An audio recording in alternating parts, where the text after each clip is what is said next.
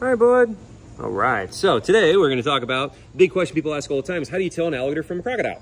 And so it's a little bit more complicated than people think. There's a lot more differences than people think. There's over 20 different species of crocodilian. So it really depends on what kind we're talking about. But to really get the most basic, simple, broad answer. The alligator has a more round, broad nose. Crocodile's more narrow, pointed nose. The alligator is darker in coloration. Crocodiles are lighter. And then when the alligator's mouth is closed, you only see the top row of teeth sticking out. The bottom row fit in a sockets in the upper jaw. On a crocodile, you can see both rows of teeth interlacing kind of like a zipper. And so those are like some of the super basic, easy to see differences. But there's a lot more than that.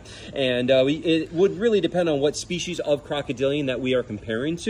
Um, like if you get into it, like alligators have integumentary sensory organs along the face. Crocodiles have them across the entire body. That's an interesting one. Or different dentition, uh, different dentition arrangement, and then different number of teeth